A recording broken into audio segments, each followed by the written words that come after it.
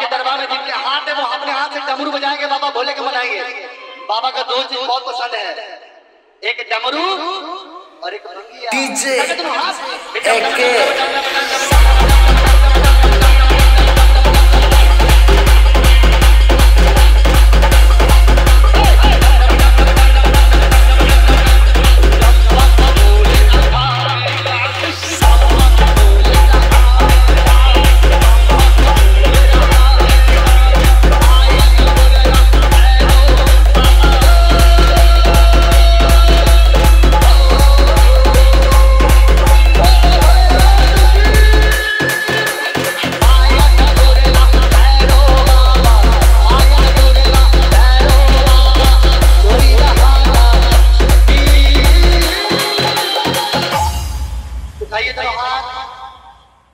बाबा के दरबार में नौजवान बच्चे औरत सभी जाते हैं और सभी बाबा के दरबार में दर्शन पाते हैं उठाइए दोनों हाथ और क्या बोलेंगे